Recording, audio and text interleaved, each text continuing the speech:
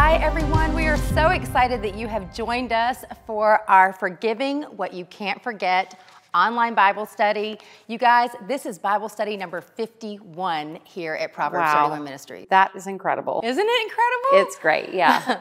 well, my name is Melissa Taylor, and I am joined by the author of Forgiving What You Can't Forget and president of Proverbs 31 Ministries, Lysa TerKeurst. Thank you so much, Melissa. It's such an honor to be here with you. And we've done Again. a lot of life together. Yes, you we know? have a lot of years and Years of and years. life. I was trying to think this morning how long we've known each other. And has it been like 20 years? It has. I remember the first time I met you, um, you were taking your kids to a movie, and I was taking my kids to a movie to see Lilo and Stitch. That's how long ago How it in was. the like world do you I don't even that? know. I because I was meeting Lysa TerKeurst, and I remember And I it. was meeting Melissa Taylor. So I remembered it so well. but um, I know uh, some of you are new to online Bible study, so we want to welcome you. And Lysa, for those of you who are a little unfamiliar with your story, or maybe they don't know, you know, um, why you wrote this book, tell us a little bit about about Lysa TerKeurst. Yeah, so the main backdrop of the book is just walking through some really devastating hurts and wounds. But it wasn't just present day hurts and wounds. I think a lot of people know my story of um, I found out my husband was being unfaithful, and um, I was shocked and shattered, and so um, just devastated during that time. And what I started to recognize is that as I started this process of forgiveness and trying to walk forward, there was a lot of pain from my past that was unresolved that was feeding the very present day resistance to forgiveness. And so it sent me into this world of trying to really heal, not just from what I was facing right in front of me, but also some things that were unresolved in my past. And, you know, I would have told you, oh no, I've really dealt with everything I need to deal with in my past. But when I look at the concept of forgiveness, I think the thing that was making it so complicated to me is in theory, I had forgiven. Right. But I really didn't have marked moments of forgiveness. I didn't really know how to forgive, and I didn't know what to do with those feelings, those triggers, those painful situations that would happen Right. that would make me doubt that I had actually forgiven. Right. This must have been a difficult book for you to write. Was it hard to, as you, I mean, are probably reliving things that you're including in the book? How did you get through the writing process? Well, it was a difficult book to write because it's not a message I ever wanted to have to live. And then I, I know whenever I sit down to write a book, I'm going to be knee deep studying this topic for two years. And so I really want to make sure it's something that I need to work on because that's where my best writing comes from is when I'm struggling with something and I want to have the Lord address it. And so it's, you know, it it's a deeply, intensely personal journey for me. Right. So this message was so hard for me to write because I was so resistant to forgiveness. And I wouldn't have said that. I would have told you at the beginning, like, yeah, I should work on some forgiveness stuff. And so, you know, that'll be a great topic for me to write. But as I got into it, I started to find little hidden places of bitterness in my heart that I wasn't attributing Right. to bitterness. Right. But even more than that, I just found myself feeling like resistant to forgiveness because forgiveness started to feel like to me an unfair gift I had to give to the person that hurt me. Right. And I didn't want to do it. Right. And isn't it so strange with forgiveness? It feels like it's too soon to work on forgiveness until it feels like it's too late to work on forgiveness. And then it just never seems to be the perfect time. Right. And I remember in one particularly hard season where it looked like everything was falling apart and then everything fell apart worse. And I went to my counselor, and I remember just walking in that day feeling like I don't know if I'm going to be able to make it. I was having a hard time just putting one foot in front of the Right. other. I don't know if you've ever been in a season where truly just breathing and getting through that day takes as much energy as you can muster up. And so it was just a very, very hard season. And my counselor looked at me and said, Lysa, do you want to heal? And I said, Yes, I do want to heal. And he said, Today's a good day to start working on forgiveness. And I remember looking at him and thinking, Are you crazy? I know. I want to heal. Yeah, you know, you've if just you crossed the line. Address the fact that I haven't washed my hair in like 10 Right. days. Well, I remember reading this in the book, and you weren't even sure if you had deodorant on, but you Yes. saw some peach air freshener Yes. in the bathroom that she was like, okay, I can just use it. Yeah, I thought I'm a resourceful woman. So, yeah, I'd sprayed peach air freshener on myself before I walked into the appointment. So, I walked in smelling like a freshly baked peach cobbler. That's what I said in the book. But um, I just remember Jim saying, my counselor, his name is Jim, like, you know, we're going to work on forgiveness. And I just thought, how can you possibly work on forgiveness when the other person hasn't said they're sorry, when they're not owning what they did, when I'm not sure I'm done hurting over this? Right. And I know in one place in the book I wrote, hurt feelings don't often want to cooperate with holy instructions. Mm-hmm. And I was just so hurt. The thought of forgiveness felt so cruel to me almost. Well, and you know, you also write about how as Christians, we know we're supposed to forgive. But if you had written a book on forgiveness because you just know that is the biblical thing to do, 10 years ago, 15 years ago, I bet it would look nothing like the book that you've written today because of how you've had to face forgiveness at this time. I don't think I would have written it with the appropriate amount of angst. Mm-hmm. Because, you know, when you talk about forgiveness, forgiveness spans a vast array of hurts, wounds, offenses. And people attach the word forgiveness to some of the most devastating things that they've faced, some of the ways that people have hurt them the most.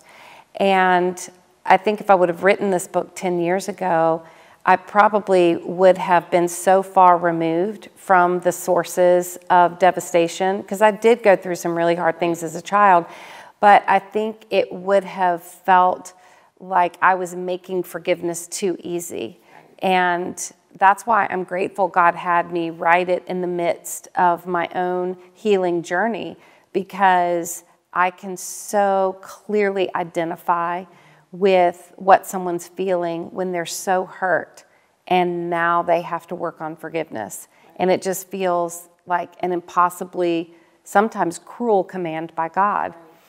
And so I'm, I'm grateful I was able to write it in that place. And I think when people sit down to read a book, more than being taught, they want to be understood. Mm-hmm. And that's where they are when they start reading the book. And so I don't come out swinging in the book saying, you should right. forgive. Right. I just simply and gently start with the pain because that's where someone is when they pick up this message. Right. There's something that has caused them a lot of pain, and I want to start there because that's where I had to start. I felt like as I was reading this that I had permission to still be in pain. Like I had permission to not be to the point of where I was saying, I forgive you, or even if I've said I forgive you, really going through the process and facing the things that happen after forgiveness when you really Yeah. have forgiven. And we'll talk about that some as we go through this study. But you know, this book is about forgiveness, but it's also about unforgiveness. Too. Um, unforgiveness is a place that many of us live because it's just hard to forgive. It's painful and it's messy. But yet, forgiveness is obviously a big deal to God because He sent Jesus. Mm-hmm. And so, talk to us a little bit about that unforgiveness. Well, I think some of us are eager to just move on. Right. Like, I just don't want to deal with this anymore. I, I want the pain to go away. And especially if the relationship, if there's a relationship involved in that, if that relationship is not restored, then it can just feel like this is a useless activity. They don't want my forgiveness, so why would I do the hard work of Right. For- giving right. forgiveness, Right. you know? Because it's a lot of work. And so I think we misunderstand what forgiveness really is. Forgiveness is not just an unfair gift that you have to give the other person, the person that hurt you. Forgiveness is really God's gift to the hurting human heart so that we can be cleaned out from those things that will taint our heart. You know, when bitterness and unforgiveness and anger and resentment, when it comes knocking, it doesn't just want to like come for a visit. It wants to move in and, and really take over. Right. And it will start to, the evidences of unforgiveness will start to leak out and taint every relationship that we have. And so I had to recognize that I can't just move on. I really do need to do the work of forgiveness. And I also had to realize that forgiveness doesn't originate with me. I can't wait until I feel forgiving to try to conjure up this forgiveness that God talks about in the Bible. Forgiveness doesn't start with me, forgiveness starts with God.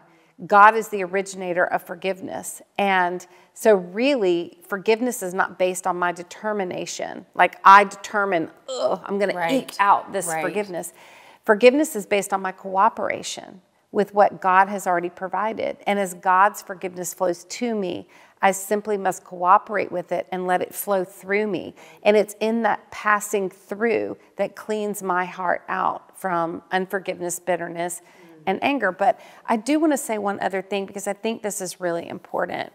Sometimes, you know, when we hear the word bitterness, we can get very defensive because, and I, I don't want to say we, I'll just put this on me. Like, I can get defensive because I'm like, I'm not bitter. Right. Like, do you realize how much I've been hurt? Right.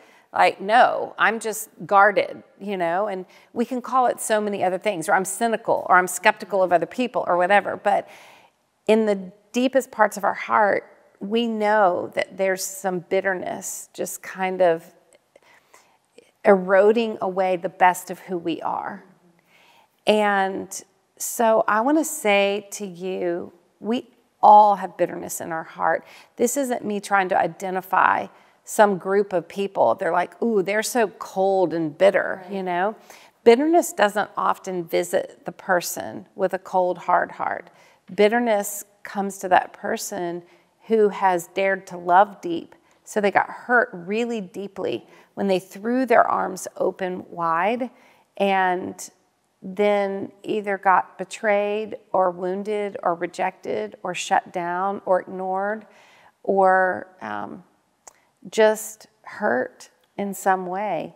And so I know we're going to get into this in future chapters, but I just want to say right from the beginning it's okay to admit that you have some unforgiveness or some bitterness or some resentment or some grudges, whatever you want to phrase it like. It's okay, you know, and, and God isn't mad at you. He's not angry at you. He doesn't think you're a horrible person because of this. He loves you and He wants to tend to your hurting heart. And so it was so important at the beginning of the book for me to reassure people like bitterness is not an indication of a limitation that you have to love people, it actually indicates the exact opposite. And if you're struggling with unforgiveness, I would say it's probably because you have great capacity to love people, but you've also been hurt. And so let's deal with that hurt so that it doesn't become a liability or a limitation in your future relationships. Because you definitely can, you can get better. You list a whole a lot of things that can happen as a result, like getting cynical. And you can also just wear a mask and pretend like it didn't happen, but it's not going to make it go away. That's right. And why did I know how to write that list? Because could you experience a little? I've experienced it, right? right. So, you know, it's not an academic study um, of bitterness and the psychology behind resentment. It's not that. It is me sitting in front of my Bible weeping because I know what it feels like to have all this hurt inside of me and not know how to take those steps toward healing. Well, you guys, each week we're going to be digging into a different aspect of forgiveness, hearing more about your story, but also you are invited into the story as well. And so we hope as you go through this online Bible study, you will comment to us in our comment sections on social media as well as on the blog. We really want to hear from you. We want to pray for you. And so it's time. Pick up your books right now. We're going to be going through the introduction, chapters one and chapter two. And um, we are really excited, Lysa, to, um, to start studying this book. I think so sorry for anyone who felt the need to pick up this book because we do know that you've experienced um, pain and hurt and you're wondering maybe what to do next, but so thankful that you have written this book to share with us Thank so you. that we can learn and grow from it. And you guys, it is filled with God's word. That is the whole foundation of um, everything that we do here at Proverbs 31 Ministries because we believe God's word is the truth. That's And you know what I'm about to say. That's right. Because when you know the truth And and, live live the the truth, truth, it changes changes everything. Bye, you guys.